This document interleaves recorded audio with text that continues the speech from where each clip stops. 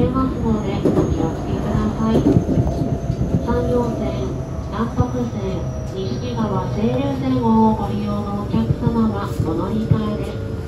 山陽線岩国から先柳井徳山甲府新山口方面下関行き7時17分この列車が着きます同じホームの向かい側7番乗り場関北線久我周防長森方面関北線を通ります。徳山行き7時19分ホーム変わりまして1番乗り場からそれぞれすぐの連絡ですまもなく列車が少々揺れますお気をつけください車内にお忘れ物をなさいませんようお手回り品のロゴを確かめの上お降りください今日も JR 西日本をご利用くださいましてありがとうございます no arrival 岩国 terminal などを止め列ミルオープン終点岩国に